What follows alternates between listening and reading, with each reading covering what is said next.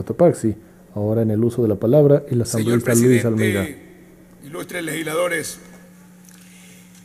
he estado escuchando a todos vosotros, he ido a observar los dos grupos que están aquí afuera y creo que debo decir lo siguiente.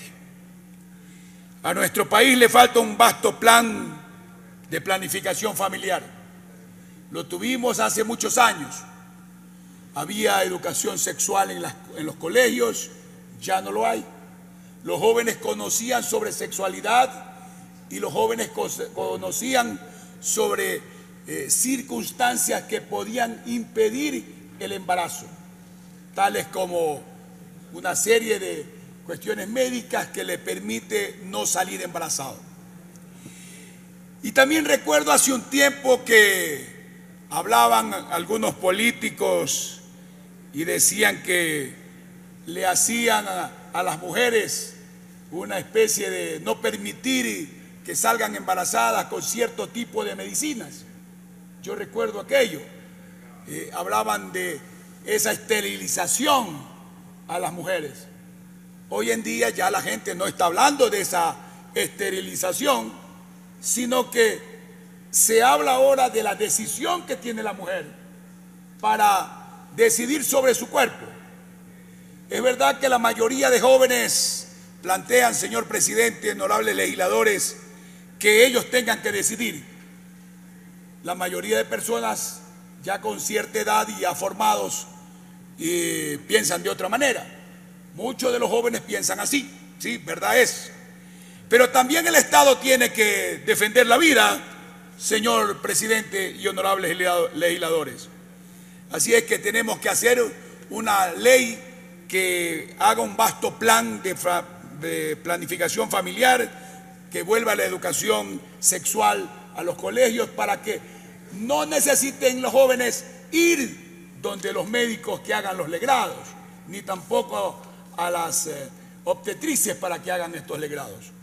En realidad, a mí me ha convencido un versículo de la Biblia cuando dice el gran Jeremías, y en la parte 1, 4 y 5, y le dice que vino pues palabra de Jehová a mí, diciendo, le dijo Jehová directo al gran Jeremías, antes de que te formase en el vientre, te conocí. Vean, antes que te formase en el vientre, ya te conocí. Significa que había espíritu ahí, había alma.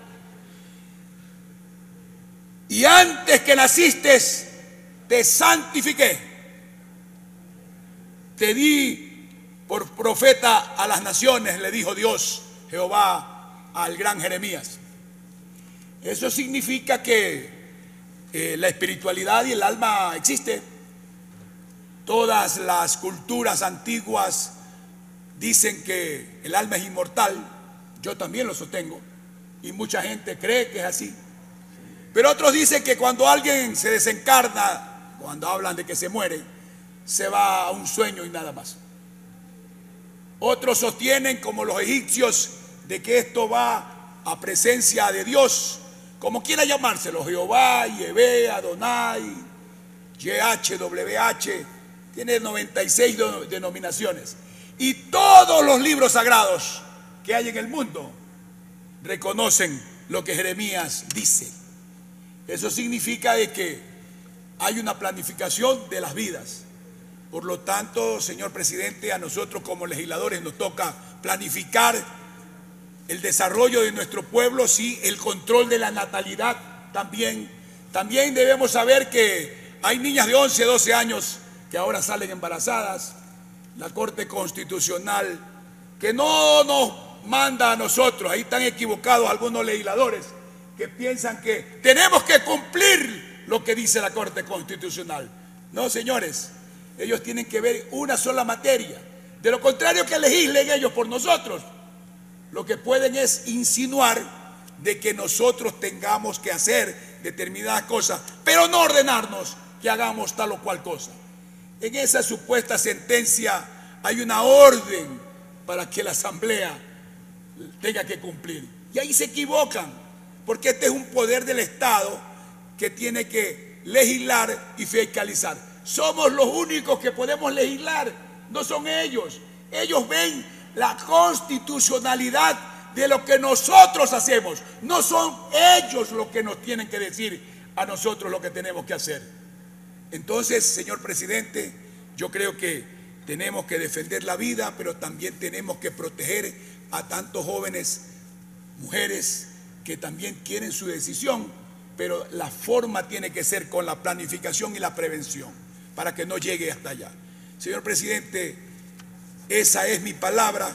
Yo creo que allí, eh, en el momento en que nosotros hemos tratado el tema, cumplimos con esa supuesta sentencia de la Corte Constitucional y en definitiva es el Parlamento ecuatoriano el que tiene que hacer. Felizmente los partidos en la objeción de conciencia han dicho cada cual actúe como tiene que actuar.